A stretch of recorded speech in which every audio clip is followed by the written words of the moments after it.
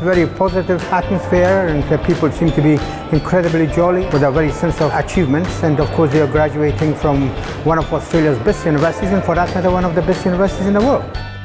It's incredible, it's very exciting, um, there's lots of people you haven't seen in a while, your family's here and it's like two worlds are kind of colliding. You've got this academic world and you know your family supported you.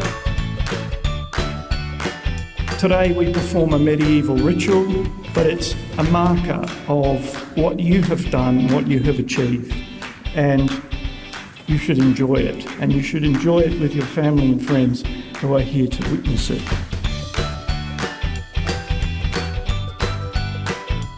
And so my point, graduates, is really that we can admire those who have come before without replicating what they did. And we are not here collectively, and you are not here to replicate the triumphs of the people that you admire. You're here to transcend those triumphs. You can do better than to join the club and be part of some insider arrangement.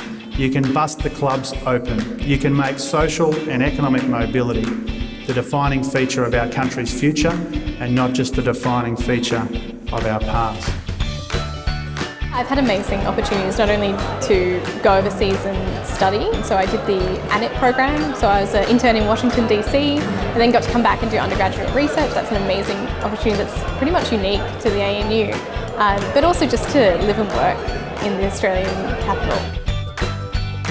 After today, you'll no longer be our students, but our alumni and our peers you'll go on to achieve much more than we expect. And you'll look back and say, ANU is where it all started.